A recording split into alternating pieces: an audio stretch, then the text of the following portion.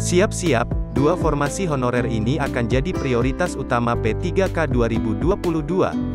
Badan Kepegawaian Negara, BKN, menyebut dua formasi tenaga honorer akan menjadi prioritas pada seleksi 2022 pegawai pemerintah dengan perjanjian kerja, P3K. Wakil Kepala BKN Supranawa Yusuf mengatakan dua formasi tersebut, yaitu tenaga pendidik dan kesehatan. Yang dipromosikan menjadi PPPK di dua jenis itu, tenaga pendidik dan kesehatan. Red, ujar Supranawa di Serang. Senin tanggal 29 Agustus tahun 2022, sesuai dengan prioritas. Untuk kuota P3K kami akan membahas terlebih dahulu dengan Panitia Seleksi Nasional, katanya. Sementara terkait dengan pengangkatan P3K pada tenaga pendidik dan kesehatan belum tuntas. Sesuai dengan prioritas, untuk kuota P3K kami akan membahas terlebih dahulu dengan Panitia Seleksi Nasional, katanya.